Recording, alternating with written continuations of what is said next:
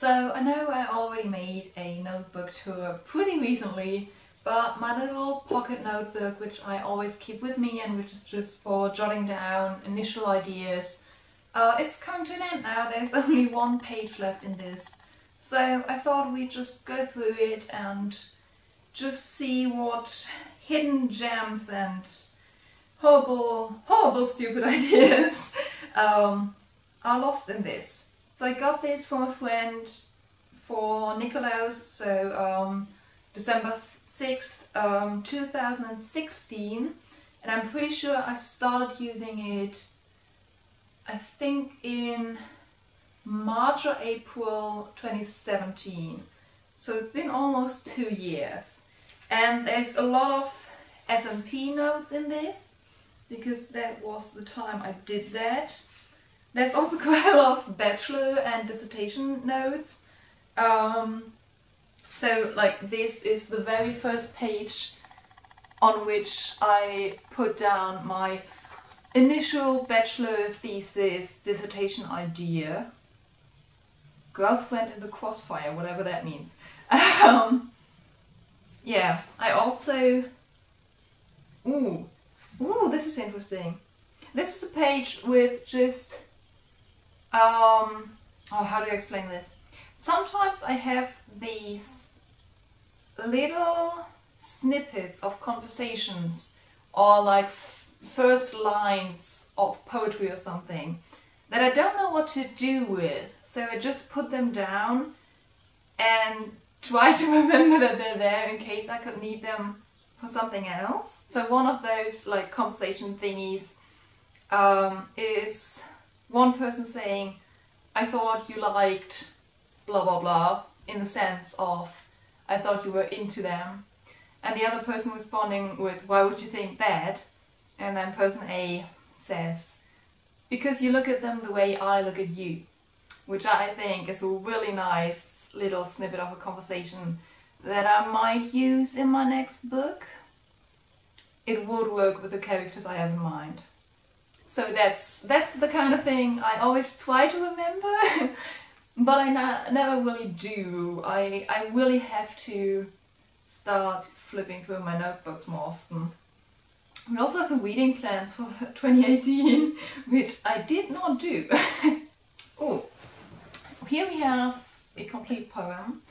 I wrote this on the 25th of July 2017 at 12.02. No idea why I wrote that down so specifically, but I did it for the booktubeathon um, and it's a poem inspired by The Gentleman's Guide to Vice and Virtue.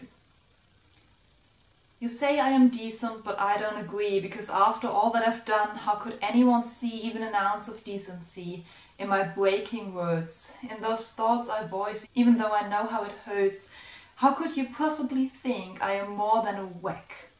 When my manners are cruel and my soul is black, when all I do is selfish or mad, how can you believe my intentions are anything but bad? You say I am decent, but I don't agree, because there's no soft spot to my act. You only get what you see. And I remember I was listening to the audiobook for The Gentleman's Guide. And, oh, what's his face? The main character. Um, I think it was his best friend who said like the main character was going on about how like stupid and bad he is and I think his best friend was the one who said you're decent. And he didn't fight it but like you could feel in his response that he didn't agree. And I just thought that was really interesting so what a poem about it oh I still want to make that video. Oh do I tell you yeah whatever I'm just gonna tell you everything in here and if you're interested in any of that let me know and I'll make those things. I mean, I probably want to make all those things like at some point either way, but you know, you know how it works. So uh, this was a video idea I had when I first saw Fight Club, which was pretty late, like most people have seen Fight Club before, um, but I've only seen it once and I had a lot of opinions about it and one of them was that the mental health representation. And it was interesting, like not only like the main character, which is really obvious, but the entire film and concept of the film in itself to me is a mental health representation um, as in how mental health is treated in our society. And I just thought that was really interesting so I wanted to make a video about that. But to do that I have to watch it again um, and take notes so might take some time.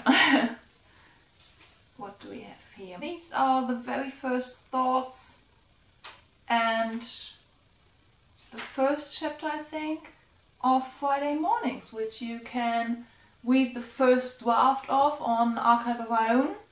Link will be in the description. And if I manage to do that, uh, there might be some version of that to buy in book format, probably, hopefully, maybe soon. Let's see how that works out. Ooh, I like this one. Um, so for SMP, I often have like very specific ideas of how to um, like work with visual and audio and how to put those two together. Um, and